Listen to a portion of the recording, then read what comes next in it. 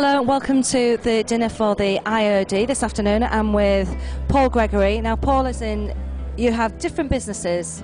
Do you know? Do you want to just tell us a little bit about them? Probably uh, most uh, well known for being the owner of Leonardo's, uh, but latterly we've taken on the challenge of uh, restructuring ARC, which is uh, on Humber Street.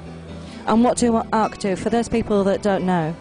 Uh, well, ARC was formerly known for uh, architecture and the built environment, but it will be known in the not too distant future for the home of sustainability and uh, information hub on anything uh, to do with sustainability and renewable energies.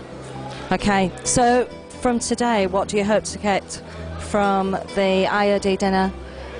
Is it in the networking side, or is it the information that's going to come across, Uh, well, for myself and the or rest is of it the just lunch? no, just lunch. But for myself and the rest of the group, we are uh, responsible for putting BizWeek together. So we're trying to uh, circulate to as many events as we can, make sure everyone's happy and uh, all things run as smoothly as possible. okay, well, from the event that I saw this morning, you're doing a good job.